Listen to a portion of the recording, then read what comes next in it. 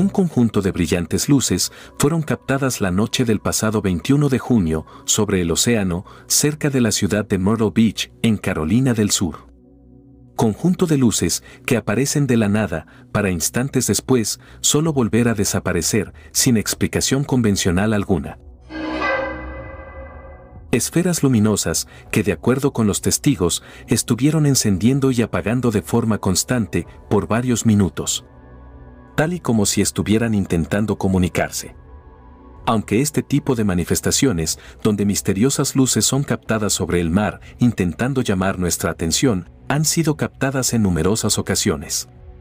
Como el conjunto de misteriosas esferas brillantes grabadas en los cielos del estado de Nueva York el 11 de septiembre de 2020. Extrañas luces que fueran investigadas por la agencia MUFON y que parecen interactuar entre sí al mismo tiempo que los testigos demuestran presenciar un fenómeno completamente desconocido para ellos.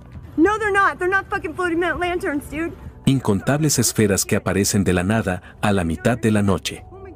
Algunas de las cuales se mantienen estáticas en el aire, mientras otras parecen descender, para luego volver a desaparecer.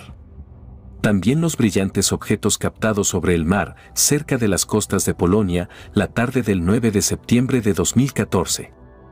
Luces que en primera instancia fueron registradas flotando en un mismo sitio mientras cambiaban la intensidad de su luz, quizá intentando comunicarse. Sin embargo, minutos más tarde, los misteriosos objetos arrojan al océano a otro grupo de luces.